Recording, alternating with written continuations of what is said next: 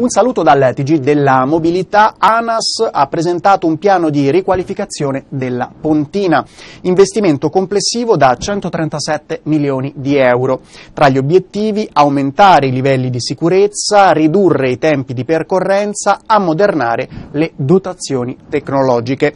Il piano è suddiviso in due fasi. Nella prima è stata data la priorità agli interventi di messa in sicurezza e di manutenzione nei punti principali. Tra gli interventi in corso, quelli sulla manutenzione degli impianti di illuminazione, quelli per il rinnovamento della segnaletica e per la manutenzione di ponti e viadotti presenti lungo la statale.